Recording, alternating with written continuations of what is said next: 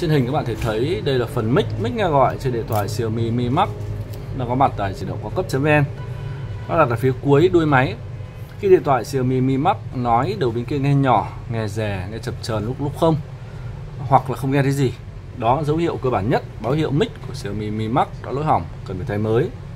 Di động có cấp.vn hiện có tất cả các linh kiện trên điện thoại Xiaomi Mi Max nói chung và phần mic mic nghe gọi trên Xiaomi Mi Max nói riêng, thay mới với các bạn các bạn chỉ cần cầm máy qua các địa chỉ của di động cao cấp.vn chúng tôi tiến hành thay mới cho các bạn nhanh chóng, an toàn và tiện lợi.